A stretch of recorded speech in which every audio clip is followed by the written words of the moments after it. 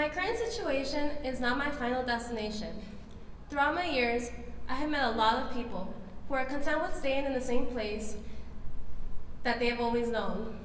Change is big for some people, and trying something new can be too much.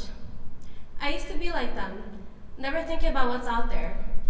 I was okay with the idea of limiting myself to the things I already had, and I never gave much thought to evolving. However, I have been fortunate enough to come across people and opportunities that have challenged my way of thinking.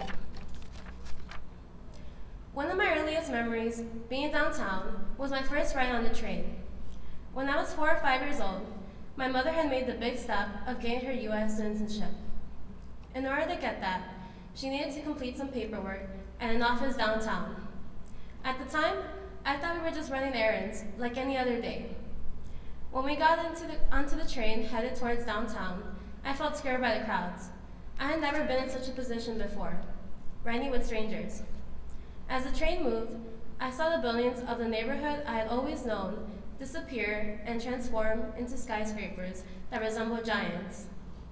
I had rarely ventured outside my neighborhood of West Lawn. The biggest city I had ever heard of was New York City, thanks to Home Alone 2, a childhood favorite of mine. In my four-year-old mind, it seemed possible that 40 minutes on the train could take you anywhere. When we got off the train platform in the loop, we were surrounded by people rushing to get to their destinations. I was with my family, but I felt so isolated and afraid of losing them in the crowd. After my mom filled out her paperwork at the office, she thought it would be a good idea for us to explore downtown the rest of the day. As we walked, I felt intimidated by all the businessmen with their expensive suits and their heavy-looking suitcases. Although the places I had seen that day were beautiful, the only thing I wanted to do was go home and play my Nintendo 64. I felt so out of my comfort zone. That was until my parents made the wise choice to stop for ice cream. To a four-year-old, there is nothing that can't be solved by a good scoop of ice cream. On the ride home, I was feeling much happier. This ice cream got me thinking, maybe the place we were visiting wasn't so bad after all. I looked up at my parents and I told them, wow, I love New York.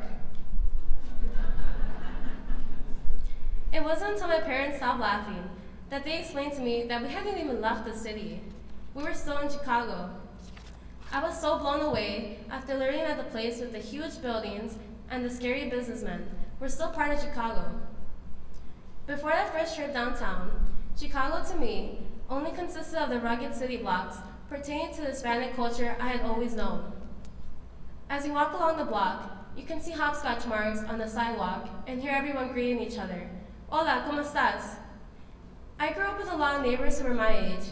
We rode our bikes together and played outside on their street until the dreaded moment when the streetlights would come on. These lights signified that our fun was over. I hated hearing the moment my mother would call out to me, Ya métate, se está poniendo oscuro. I would groan and argue, begging to stay out later and play with my friends. But I didn't realize that our parents had a valid reason for wanting us inside before dark. Growing up, I wasn't aware that bad things ever happened, or existed, existed for that matter.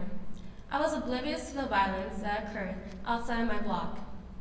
Despite all of the good things about our neighborhood, my parents knew there were downsides to it. I remember walking down the street and admiring the doodles that people had left on the sides of garages. I didn't understand why my mom disapproved of them. I just thought she had something against art.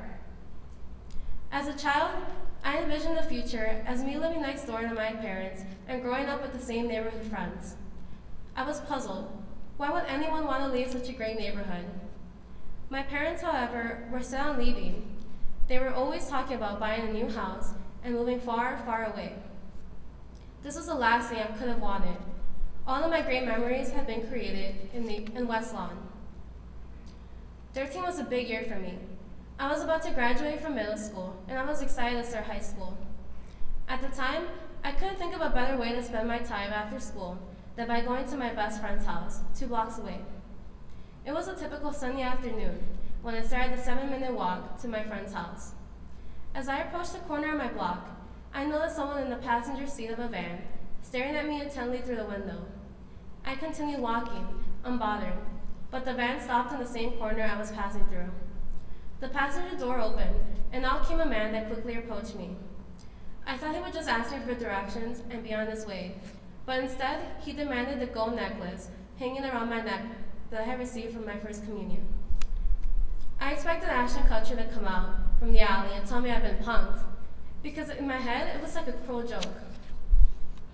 I stopped breathing, and if it wasn't for the gun that he held so strongly in his hand, I would have run back home to the protective embrace of my parents. This was the first real world experience I had had where something bad personally happened to me.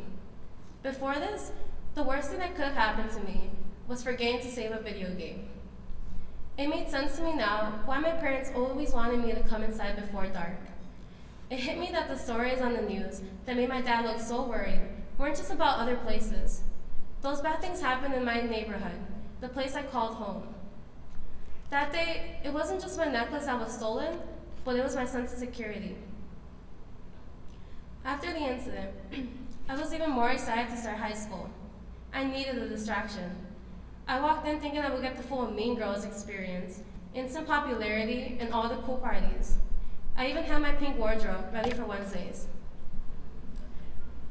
Unfortunately, the first few months of my high school experience did not meet my expectations at all. The majority of my neighborhood friends had chosen to attend different high schools. I had decided to attend Hubbard High School. I barely knew anyone, and it was hard for me to make friends because of how shy I had become. I wanted to escape my neighborhood and my high school. I fantasized about living somewhere mysterious and exciting, somewhere completely different from West Lawn. Another favorite childhood movie of mine was The Parent Trap. My favorite scenes were the rainy shots of London. I've always loved the rain, and I imagined owning my own cozy apartment there. However, I didn't realize how much money it would cost to get there. How would I get the money I needed to create a new life for myself? I decided to get my first job as an usher at Arie Crown Theater. It wasn't the best job, but it put money in my piggy bank. Since the theater was located next to Lakeshore Drive, it gave me the chance to explore downtown, the place with big buildings and intimidating businessmen that I remember from when I was four. Now that I was 16, downtown wasn't as intimidating. It occurred to me that downtown was full of things to do, and I started to enjoy the time I spent there, and not just for the ice cream. It was nice knowing that I didn't have to travel all the way to New York to get the full big city experience. The weekends I spent working as an usher were the highlight of my sophomore year. But during the week, during the week, I was so stuck in my boring high school with my boring classmates and my boring assignments. High school is what you make of it, and so far, I hadn't done much worth remembering. The day that I heard about Genesys Works was the day that ch changed my life for the better. My classmates and I were called into assembly in the auditorium. Having all of the students packed into one room made everyone irritable and loud. So loud that it was almost impossible to hear what was being said, but I managed to get snippets of what the assembly was about. The words paid internship and working downtown were what intrigued me. It seemed like an opportunity with my name written on it, and I just had to take it.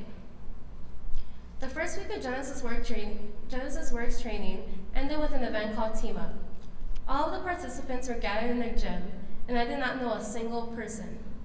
I was reminded of my first trip downtown, feeling isolated and intimidated. As training continued, I became more comfortable with my peers, who had the same goal as me, earning an internship. The day we found out whether or not we earned our internship was nerve-wracking. My, my peers and I gathered around the screen that was going to determine our futures. Then they announced to us that everyone in the room would be working in an internship their senior year, and everyone went crazy. Finding out that I would be interning at TransUnion was one of the best moments I have had. Like I said before, high school is what you make of it, and I finally felt like I was doing something memorable. Almost a month ago, I was introduced to my new professional lifestyle at TransUnion. Walking through the big doors felt surreal, almost like I had skipped my, the rest of my teenage years and jumped into my adult life. I'm still getting the hang of being around adults for most of the day, but the weeks I have worked there have been nothing but wonderful. My teammate Christine has been welcoming since the first day and has helped me become accustomed to TransUnion. Once again, my current situation is not my final destination. I am only 17, but I'm hoping that in the next few months, I continue becoming a professional and becoming more comfortable with the opportunities I encounter. I have come to learn that downtown isn't just a place to explore and take artsy pictures for Instagram, but it's a place to put your ambition to work. Before I started high school, I really had no idea what I wanted to do. I could have easily ended up like any of the other kids in my high school, following the crowd and never leaving West Lawn. But becoming a part of Genesys Works has opened my eyes and helped me realize I can get further in life than I ever imagined. A lot of my friends are just winging it, but I want to have a plan. This program has already helped me come out of my comfort zone, and I'm sure that it will benefit me when the time comes for college. I am confident that the many places I will explore in the future will be great, and not just for the ice cream.